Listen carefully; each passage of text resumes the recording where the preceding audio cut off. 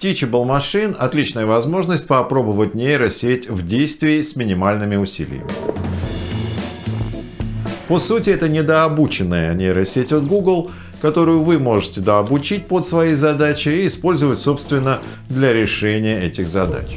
Первое и главное – это бесплатно. Второе, не менее главное – это не требует никаких навыков программирования, требует лишь усидчивости и умения общаться с машинами, понять, что и как они думают. Можно запустить проект с изображениями, покрывать 70% потребностей, с аудио еще 99% и распознавать позы примерно 1% потребностей. Попробуем изображение. Стандартная модель для всего, встроенная для небольших легких проектов. Сам процесс работы удивительно прост. Класс — это объект, который нужно распознать и отличить от другого объекта. Ну, то есть Тут нет такого, что вы можете определить, есть ли на изображении объект или нет.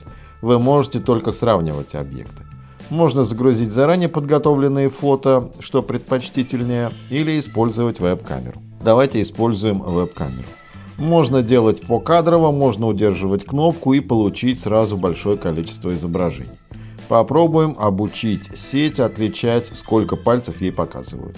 Вот мы создали первый класс, один палец – то есть у нас есть база данных из 93 изображений. Теперь два пальца, еще 73 изображения. И добавим третий класс, три пальца и еще 130 изображений. Дальше нам остается обучить модель на основании той базы, что мы загрузили. 11 секунд, модель готова. Проверяем. Один палец отлично определяет, два пальца нет, тупит, не понимает. Три пальца отлично определяет. Два никак. Ну что, дальше надо понять, на чем спотыкается сетка. А вот положение не совсем понятно, но что-то ее клинит на положении руки. Да, понять, что она думает, непросто. Если бы у нас была база данных с разными фотоподнятых пальцев, ну то есть если бы она понимала, что независимо от фона, главное, что меняется, это именно количество пальцев. Она бы поняла, на что стоит обращать внимание в первую очередь. Давайте попробуем чуть упростить ей задачу, чтобы она не отвлекалась на фон. Так, номер два. Номер три. И изображений побольше. Обучаем. Проверяем. Один. Отлично. Два. Опять. Ну, вот как-то так вроде видит. Три. Ну, тоже лучше.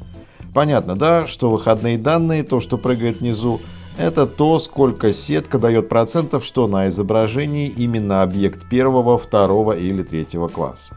Ну, в общем, лучше, но не идеально. Собственно, работа с Teachable Machine – это правильная подборка базы данных с учетом того, на чем машина может споткнуться. После того, как вы обучили сеть, ее можно забрать. Тут есть несколько вариантов, но вот уже с использованием готового кода, понятно, все не так просто, хотя и не очень сложно. Нужна какая-то оболочка, в которой сеть заработает. Можно на питоне сделать. В любом случае, это уже отдельная большая тема. Может быть, если скринкаст будет пользоваться популярностью, я сделаю продолжение. Но в целом сеть может быть доступна по ссылке общего доступа. Вы можете к ней обращаться, хотя практического применения тут нет. Чтобы она заработала в приложении или сервисе и выполняла ваши задачи, нужно встраивать ее исходный код. Да, что-то два пальца она никак не может правильно определить. Но в любом случае, даже без практического применения, поиграться с нейросетью интересно. Попытайтесь научить ее распознавать количество пальцев и поймете, сколько труда стоит обучить сетку Midjourney.